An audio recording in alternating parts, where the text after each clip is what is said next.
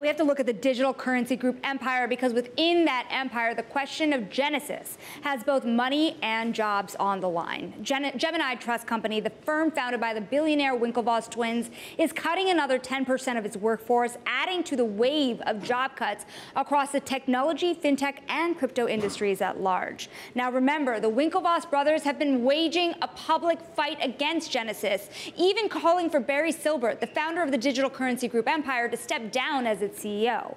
As Genesis's lending business entered bankruptcy, Gemini has been listed as its largest outside creditor with the most money owed by a landslide. The Gemini Earn business has 340,000 customers of its own, uh, 340,000 customers of its own, and their withdrawals have been halted since November.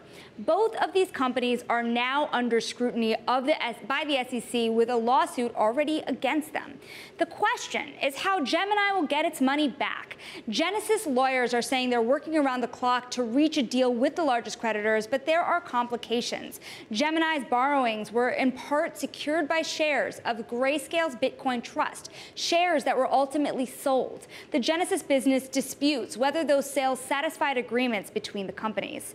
Now, when Genesis Capital filed for Chapter 11 protections, Cameron Winklevoss hinted at future legal fights without a fair offer for creditors, saying that Barry Silbert and Digital Currency Group are not insulated from accountability.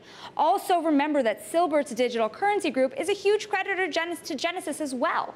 Genesis has a special committee on its board that's investigating the intercompany loan that includes a $1.65 billion loan to Silbert's DCG. Remember, Bloomberg has also previously reported that authorities are separately investigating intercompany loans, and certainly Gemini is not the only counterparty concerned about getting its funds back. The Gemini and Genesis job cuts are early signs of stresses throughout the Genesis Capital bankruptcy. But as we've seen before, this industry, one bankruptcy has often led to another.